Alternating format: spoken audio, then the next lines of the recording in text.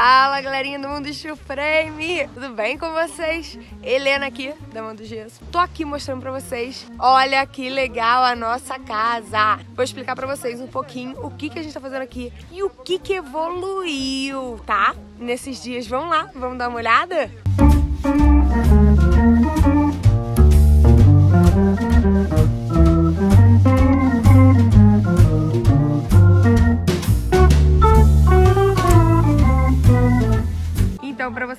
aqui, a gente está usando a telha Top Comfort, tá? Da Brasilite. Ela é uma telha de fibrocimento, só que especial. Ela tem alto desempenho térmico, ela é branquinha, já bonitinha, vocês estão vendo. Aqui também é manchadinho, mas é porque o pessoal tá cortando. Mas de longe até, né, não dá pra ver, fica super bonita. E vai chovendo, vai lavando também e etc. Ela dá pra pintar. Eu vou pintar depois ela. O que, que vocês acham? Tô pensando em pintar de tijolo. Vocês me dão opinião depois do que eu pinto? Vou ficar muito tradicional. Legal também vocês verem, tá? Pessoal aqui, ó, botou foil de alumínio, vocês estão vendo? Foil de alumínio, você tem que tomar cuidado, que você tem que ter o recobrimento entre as camadas, tá? Foil de alumínio, ele também tem alto desempenho térmico e ele ajuda muito para você isolar de chuva, tá? Isso é importante. Então eu gosto muito de usar o foil nos meus telhados. Tipo assim, ele não custa caro, ele custa barato, assim acho que é 10, 15 reais o metro quadrado, alguma coisa assim que você paga mais. E ele te dá alto desempenho térmico e ajuda, principalmente, sabe pra quê? Goteira, você não ter problema de filtração. A ideia dele é ser térmico, mas como vocês podem ver, ele acaba sendo dois em um. Acaba ajudando muito em problema de infiltração. Você erra o furo da telha, normal, pode acontecer, tá? E aí você tem que consertar com vedacalho, então você esquece. E aí tem o foil embaixo para ajudar. A parte do recobrimento é muito importante, eu vou mostrar de dentro da casa para vocês. O pessoal começa a cortar. Interessante mostrar que, olha só, quando vocês forem cortar, tá? Vocês têm que usar luva, óculos de proteção e máscara. Porque sai bastante poeirinha, tá? Tá vendo ali, ó, voando?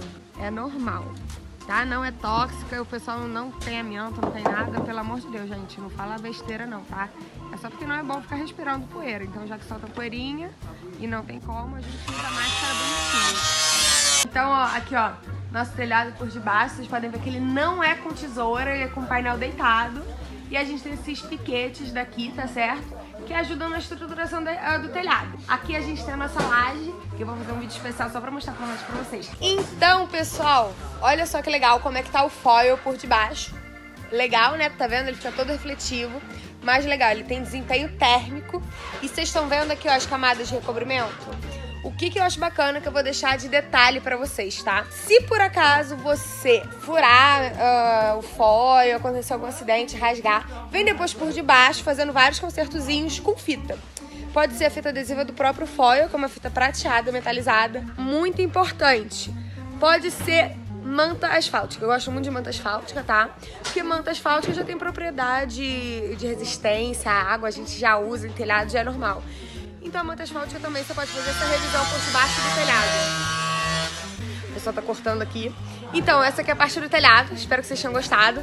Esse é o nosso telhado por debaixo. Olha só que legal ficou. E é isso aí. Espero que tenham gostado. Comentários, curtidas, deixa aqui embaixo. Helena, Dama do Gesso, Mundo do Steel Frame. Vamos acompanhar essa casa linda e maravilhosa que eu tô fazendo aqui em Pati, tá? Não mudei mão de obra, eu continuo com o mesmo pessoal. E a gente continua na mesma meta de fazer a nossa casa em 15 dias. Será que a gente consegue? A gente tá correndo atrás do cronograma. Tá todo mundo trabalhando a beça aqui, se esforçando. Beijinhos, beijinhos. Tchau, tchau.